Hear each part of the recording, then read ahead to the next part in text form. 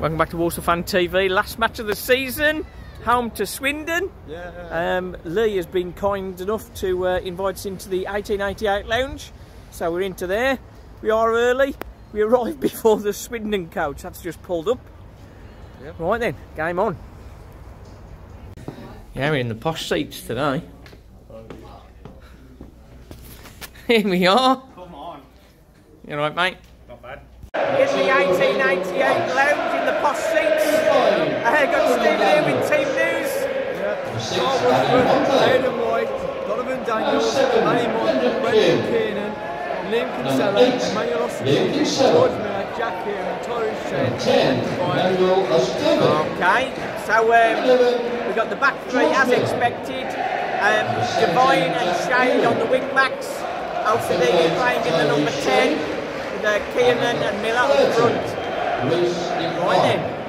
Uh, no place for Ronan Maher. He's uh, Jack Shaw's on the bench. Uh, we've also got Matt Sadler on the bench. That's a bit of a shock. But uh, it could be his, uh, a little final farewell for him, perhaps. So uh, we'll see whether that's the case. It looks like it. And uh, Stephen's going to give us updates as we go in to see what's happening elsewhere. See how that goes. Right then, eyes down, we're on it. Well, we can guarantee one thing, it's going to be uh, a great atmosphere today with all the uh, Swindon fans joining us. Can Walsall spoil their playoff party? We'll have to see.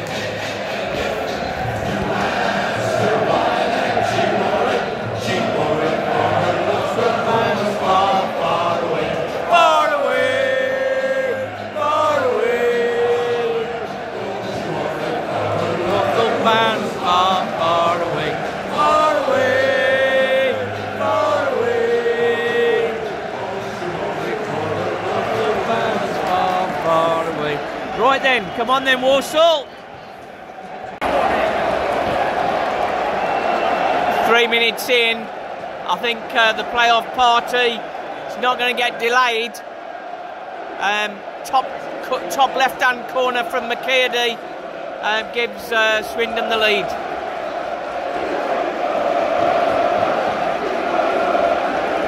Swindon looking very good in fairness just in these first few minutes.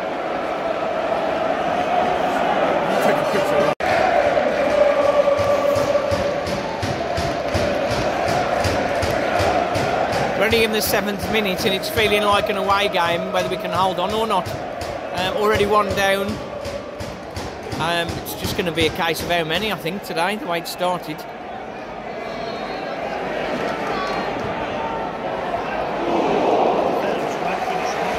Walsall have responded well. Excellent work from Osadebe.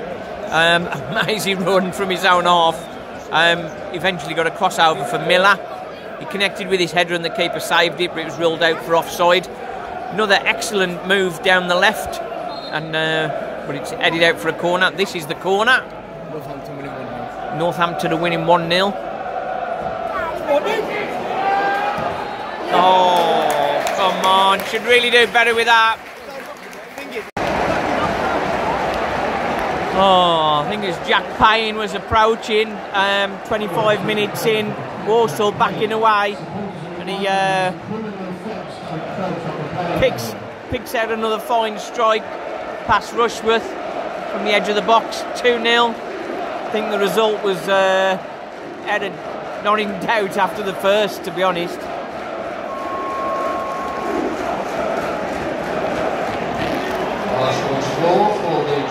Um, other scores, Sutton are winning, and um, Port, 3 0 now.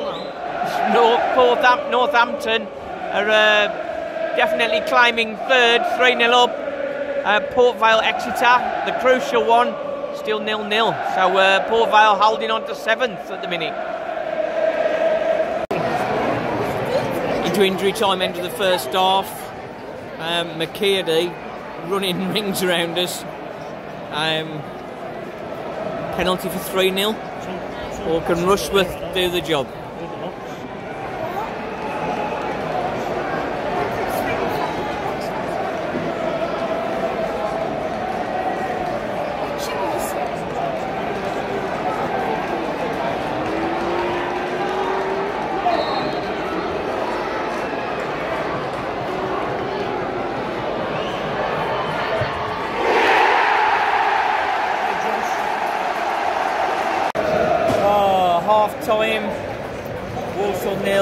Swindon three. Men against boys. Is that about what it is? Well, not really. The main thing is, on our left side, we have Divine and Shade. Firstly, two players are going to leave us at the end of the season. And secondly, two players who really haven't been doing that great for us. Against McKirdy, who's scored 18 goals this season, their best player, and we've got the two worst players potentially on our team trying to defend against him. Like, Stephen, What- what Stephen, do? I don't think. I don't think you've ever summed things up so easily and clearly. Manny Monthé played there for their penalty. McKirdy, all they had to do was a couple of passes to him. He ran down. Manny Monthé there. All he had to do was just take his legs back to the best Bescot market, and that was it. And he half-hearted went for it. He Yeah, might have got he- a red card for it, but he might now, have from that goal. that far out, you wouldn't have had a red card. The thing is, he went across. He went across, and, then he didn't put passion through it. He didn't go He wholeheartedly into the challenge. And McKirdy just skipped the ball inside him, and he'd uh, lost his balance, and then he was on his way to goal. And then uh, Daniels brought him down when um, it was clearest to penalties. Um, it's only going to go one way. And uh, same as the result, really. The thing is, I feel like in a position where Manny is, we've got to look and say, okay, this is McKirdy, plus, plus 10 goals, 18 yeah. goals this season. He's not just going to run straight into his tackle. You've got to find where he's going. And if you're smart about it, you're going to know that he's going to try and play around. So why not just take clear, his legs, clear, wasn't it? Yeah. absolutely go straight through him. McKirdy, McKirdy is a class above. He is. isn't uh, he? He's a class League One above. player.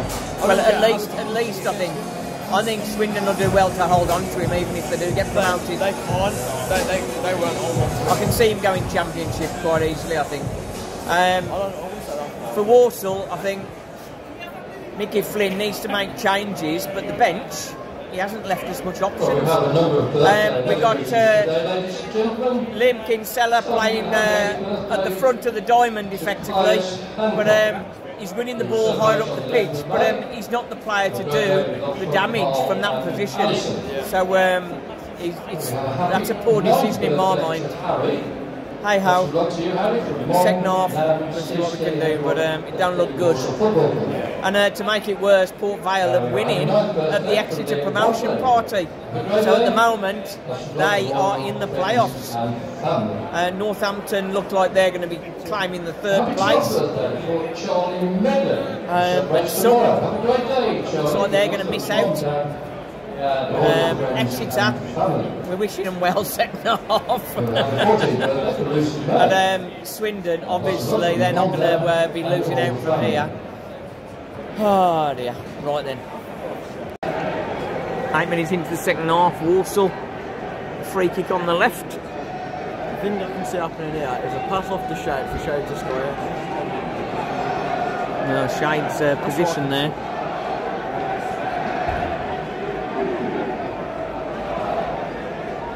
So I think with the, the score is pretty much set really. Um, Swindon seem to just happy now, settling for the 3 0. Can Walsall upset it? Told you. Shoot. Told you. Told you. 61 minutes gone. Sam Perry on for Reece Devine. Uh, Walsall going to three at the back. Um, should have started with that rather than playing the back four. As Stephen said earlier, having uh, Reece Devine and Shade trying to control McKirdy was uh, never going to work well. Bit of a chance here for Walsall on 70 minutes. Free kick after George Miller had been brought down.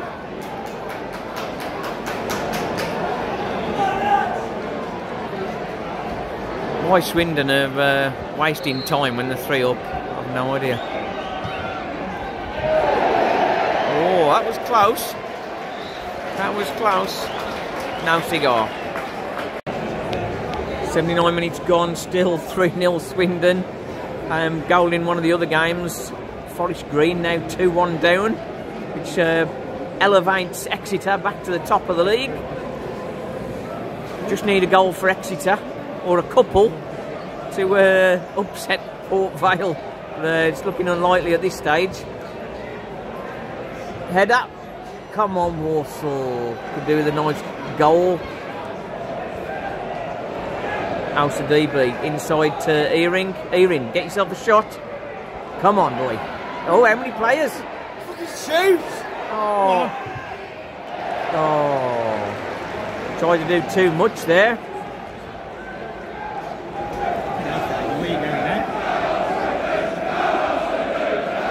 Not enough uh, power up front, Walsall.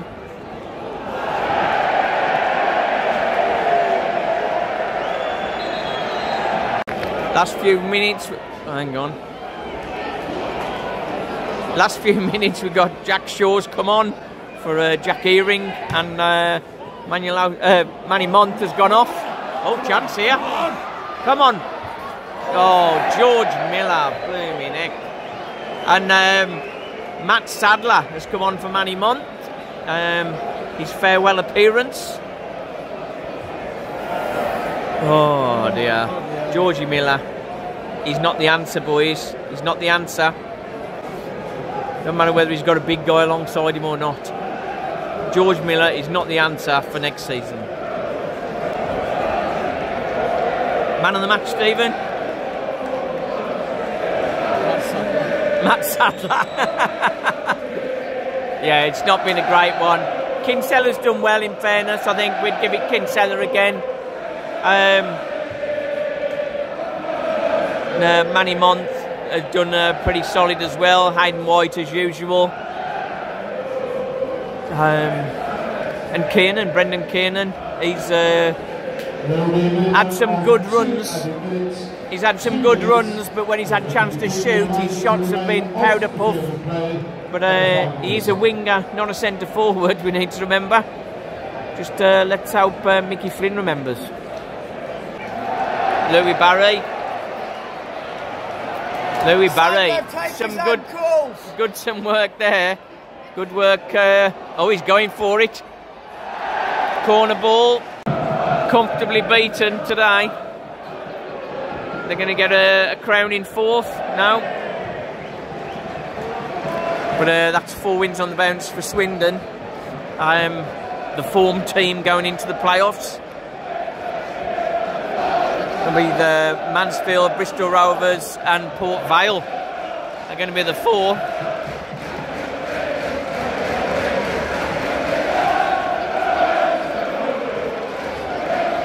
The Reds are going up. Well, the wrong Reds. they are, as I say, they are the form team. Yeah, final whistle. And uh, it's the Swindon fans running on the pitch rather than the Walsall fans. Well, all very predictable here at Walsall. But a goal five minutes from time for Bristol Rovers gives them 7 0, which means they're level on goal difference with Northampton. And having scored more, um, Snatch, third. Can't believe I predicted uh, Rovers to finish ninth. Um, and they've gone up automatically. So uh, well done, the gas. Our guest, our guest pair from uh, Sweden. Um, not the best first game for you to see. No, it was not the best game to see, no. but um, but it was good, good to get here and good to uh, be in the stadium and uh, feel it after all those years of supporting Walsall and not being able to get here. Yeah. So uh, the day has been perfect. Uh, the result wasn't perfect, but the, everything else was yeah, the, really good. The result was far from perfect, Yeah. but uh, hopefully next season will be better, and uh, you have more chances to come here. More, you think next season? Yeah, that's what I'm aiming, aiming for. Okay, that's good. Right then, and we get you back on the channel. That'd be good. Yeah. Maybe we do a live stream with you um, and talk to you when you're back in Sweden. Yeah, would that be good? Maybe. Nice one. Champion, for all the international saddlers, thanks very much. Cheers.